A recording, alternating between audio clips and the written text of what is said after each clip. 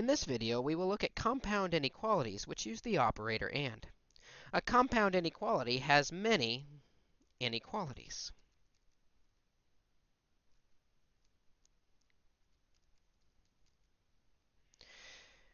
When we're using the operator AND to connect those inequalities, we mean that they are all true. And that is what we will attempt to solve for. When solving inequalities, we remember it's just like solving equations. We just need to be sure about one thing, and that is to flip the symbol when we either multiply or divide by a negative. Let's take a look at some examples where we can see these inequalities worked out. In this problem, we see AND is connecting two inequalities. We can solve them individually. The first by subtracting 5 from both sides gives us 6x is less than 6. And finally, dividing by 6 gives us x is less than 1. And for the other inequality, we simply subtract 2, and we get negative 7x is less than or equal to 42. And finally, divide by negative 7. Notice we've divided by a negative, which means we need to flip the inequality symbol the other direction. x is greater than or equal to negative 6. You may remember from inequalities in the past that we can graph these inequalities on a number line.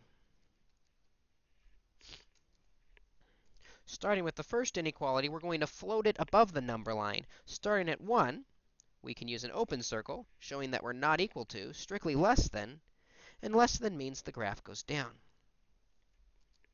The other graph, starting at negative 6, with a closed circle, showing that it's equal to that value, and the x is greater than, going up.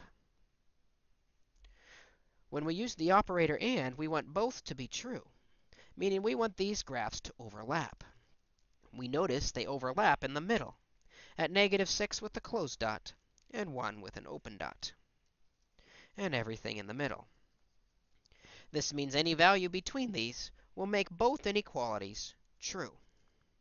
We can express this in interval notation as well, negative 6 being the low number with a square bracket representing or equal to, and 1 the top number with a curve bracket. Let's take a look at a problem that's a little more involved, where we do this exact process again, looking for the overlap when both inequalities are true. In this problem, we must start by getting the variables on the same side, by subtracting 3x from both. We get 8x minus 10 is greater than negative 2. Next, we can add 10 to both sides to get 8x is greater than 8. Finally, dividing both sides by 8, we end up with x is greater than 1.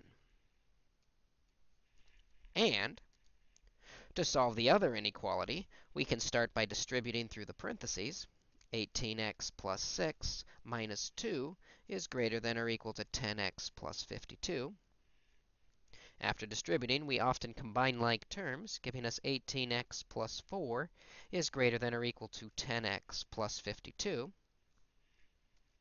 Moving the variables to one side, we subtract 10x. 8x plus 4 is greater than or equal to 52. And finally, we subtract 4.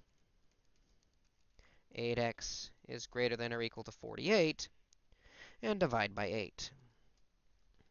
x is greater than or equal to 6. Again, we can put these on a number line starting with the first inequality at 1, open circle, because it's just greater than, going bigger. And the second inequality starting at 6 with a closed circle, going bigger. Notice in this graph, the overlap starts at the bottom graph, at 6. And then they continue to overlap going off to the right. In interval notation, our low value is 6 with a square bracket, going up to infinity with a curve bracket. And that solves our compound inequality.